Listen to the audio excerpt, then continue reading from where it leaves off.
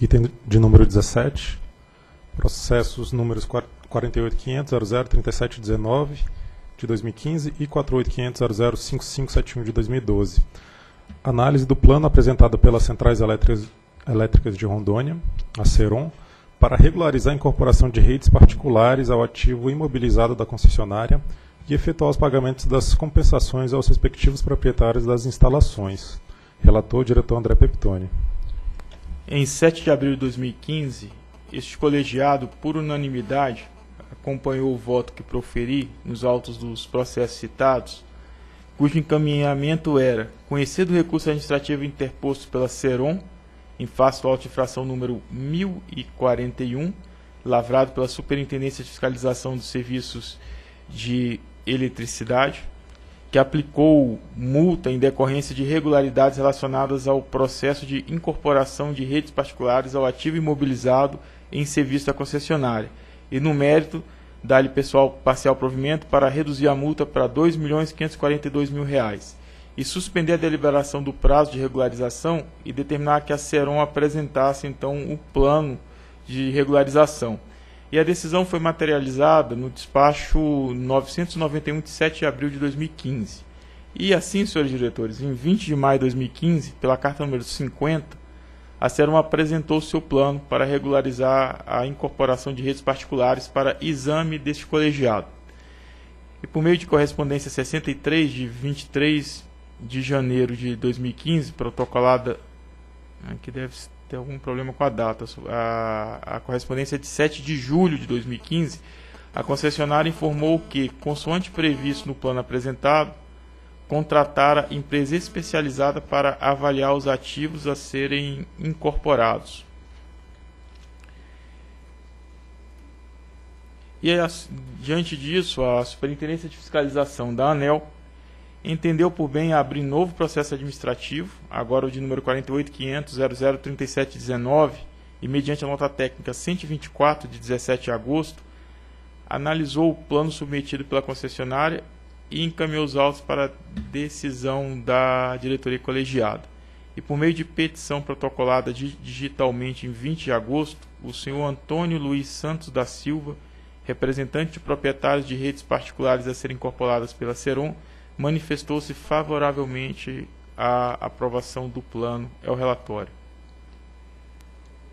A Procuradoria já se manifestou, então passa a fundamentação. Aqui é muito simples, senhores diretores, é apenas formalizar o plano apresentado da Seron como uma obrigação e que a Superintendência de Fiscalização então passe a acompanhar os marcos que foi apresentados pela Seron.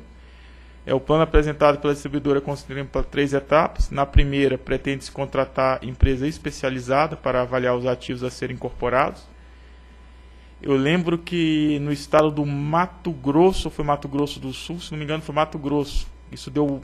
Não, foi Mato Grosso do Sul, da Enersul, que deu problema entre a relação dos ativos que deveriam ser incorporados e o que de fato deveria ser. A empresa fez uma, uma auditoria e teve uma grande depuração de ativos né, e, e valores. Então é primordial é, esse trabalho preliminar. A previsão era de conclusão dessa etapa em junho, junho de 2015. É, na segunda etapa, prevista para concluir em dezembro de 2015, a concessionária se propôs a levantar, avaliar e emitir laudo de avaliação dos ativos então que deveriam ser indenizados. E a terceira e última etapa, prevista para iniciar em janeiro de 16 e ser concluída em maio de 17, a distribuidora pretende incorporar os ativos e ressarcir os respectivos proprietários. E o quadro 1 apresenta então um cronograma de atividades.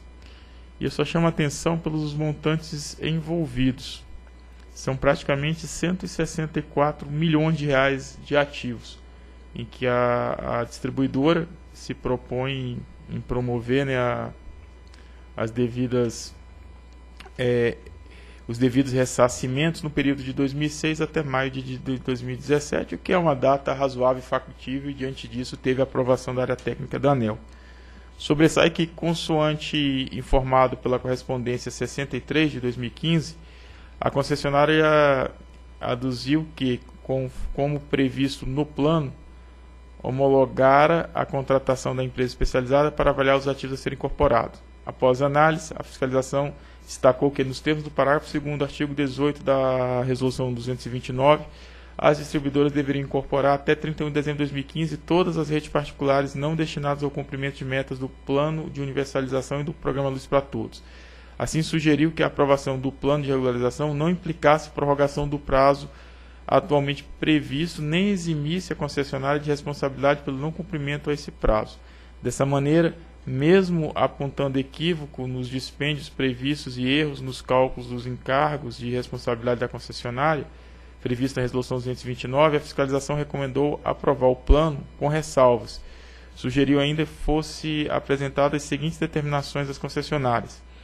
Encaminhar a memória de cálculo estimativa do dispêndio prevista com detalhamento da quantidade de ativos a serem incorporados, corrigir e reenviar cronograma cronograma físico financeiro cronograma financeiro de acordo com as previsões de início e término da atividade, apresentar a fiscalização após levantar e avaliar os ativos do cadastro consolidado das instalações a serem incorporadas, detalhando os valores de ressarcimento por instalação, adequar a metodologia de cálculo dos valores das compensações ao disposto na Resolução 229 de 2006 e encaminhar comprovação documental do cumprimento a cada etapa do plano de regularização. E por considerar corretas as ponderações e as recomendações, deve-se aprovar com ressalvas o plano de regularização da Serum. Diante do exposto, considerando que consta nos processos número 48500 00 3719 2015 e dígito 82 e número 48500 00 5571 2012 dígito 78 voto para aprovar o plano apresentado pela Serum para regularizar a incorporação de redes particulares do ativo imobilizado em serviço da concessionária e compensar os proprietários dessas instalações sem alterar os prazos fixados na resolução 229 ou excluir a Seron da responsabilidade de eventual descumprimento aos prazos vigentes. E vota ainda por determinar a Seron que encaminhe, que atenda aquelas considerações que acabei de ler no, na fundamentação. É o voto. Em discussão. Em votação. Eu voto com o relator. Também voto com o relator.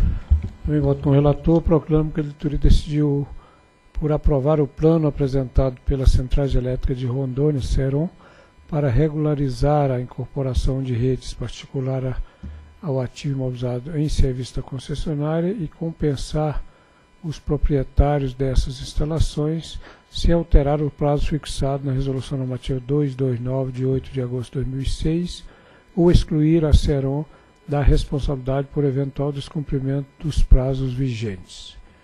Decidiu ainda determinar a Seron que encaminha a SFE a memória de cálculo da estimativa de dispêndio previsto, detalhando a quantidade de ativos a serem incorporados. Corrija o e reenvie o cronograma financeiro do plano de regularização, de acordo com as previsões de início e término de cada atividade.